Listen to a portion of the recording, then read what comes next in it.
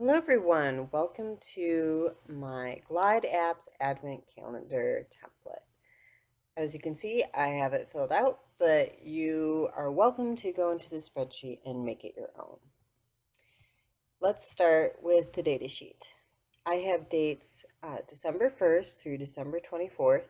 Some Advent calendars go through the 25th, so feel free to add your own row.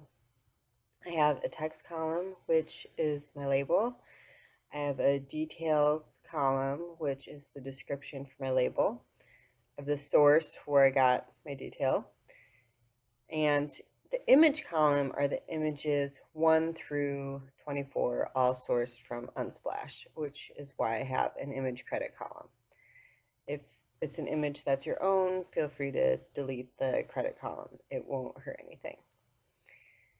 I also have a picture of open present box. So if the date has passed, then the app will show this opened present box. So if you're looking at the app and it's December 3rd, you'll get the open present box image for the first and second, and you'll still get the numbers for the dates going forward. And then again, I credit the open image. So the only complicated thing at all with this app is simple if-then statement. So let's go over to Glide Apps. So here you can see the example. It's the second, so that means we've opened uh, our advent calendar for the first and the second. But if you click into the details, you still get the number, so you don't lose your day.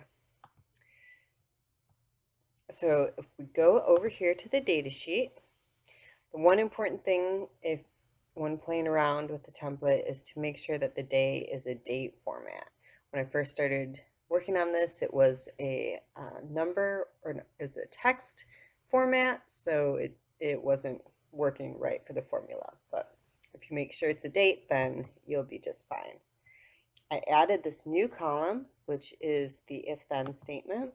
So if we go and look at it, you can see it's an if-then, if the day is on or before today, show the open image column, which is that picture of the open present box. Else, show the image, which is the column for the images 1 through 24. So you can see it's that's the only type of formula for our advent calendar. Now if we go look at the app itself, this is the home page. Nothing fancy if we click, you'll get the image, the number. Here you can see the description, label, the description, and where I source my information. And then I added a copy button, which copies the text of the description. But all this you can play around with. You can't mess it up too bad. and you can make it your own. All right, so copy. You can see, bring up a notepad. The copy paste function works. That's good. And that is the Advent Calendar app. Enjoy!